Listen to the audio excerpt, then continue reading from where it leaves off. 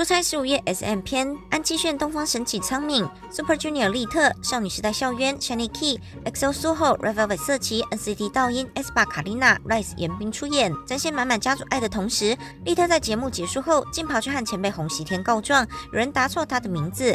色奇紧张之下，把洪熙天说成了黄熙天。当时利特就吐槽，女生说错他会更生气哦。如果是袁彬的话，可能还不会。利特还上传 IG 现实动态，洪熙天回复色奇干什么呀？一点都不机智。叫他把名字改了吧。色奇和机智的韩文同字梗也让粉丝们笑翻。洪熙天还提到我们袁彬怎么这么帅啊，光看着都要治好老花眼了，让利特笑翻，表示前辈眼里真的只有袁彬啦。